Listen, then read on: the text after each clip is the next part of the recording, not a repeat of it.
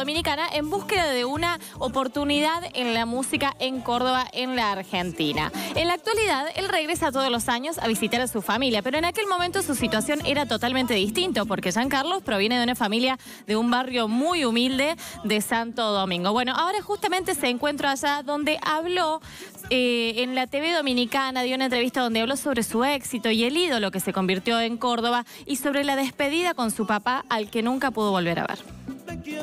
Entonces mi papá cuando me va a despedir, después nos reunimos en el Sheraton y de ahí nos vamos hacia el aeropuerto. De acá nos vamos todos. Mi papá lloraba. Y lloraba desconsoladamente. Y le digo, papá, pero son tres meses, y a los tres meses estoy de vuelta acá. Y me dice, es que no sé cuándo te voy a volver a ver. No sé cuándo te voy a volver a ver. Si te voy a volver a ver, no sé. Pues no, papá, si yo vuelvo y todo. Y así fue. Así fue, no me volvió a ver. Yo duré casi seis años sin venir al país, pero porque no tenía los papeles, las cosas no todas se daban. Papá y mamá pensaban como que yo me había metido en cosas malas, porque por ahí yo duraba cinco meses sin llamar y una llamada antes. Era muy cara. Y cuando entro a controlar, pasa el tiempo y ahí papá fallece. Y ese día que falleció yo tenía que cantar.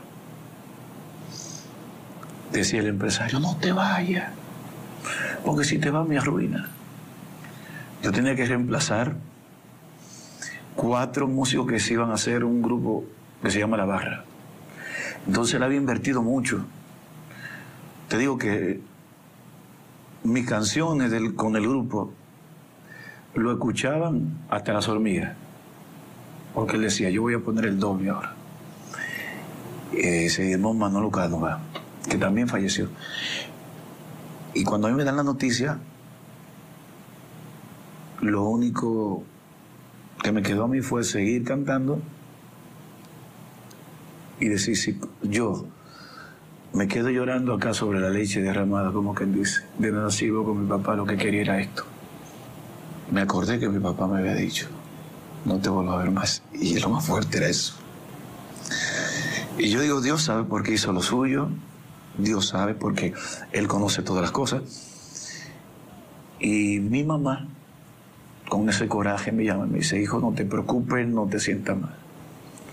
Tu papá ya está ahí. Si tú, tú vienes mañana y de cada dos días, lo vas a encontrar en el mismo lugar. Si viene acá un año, en el mismo lugar, cuando tú tengas toda tu cosa lista bien, tú vienes y bueno, y visita. Pero ya tu papá se fue. Entonces que nadie te quite el futuro. Haciendo entrevista contigo, hoy estoy. Me ha gustado tener. Entiendo, mi.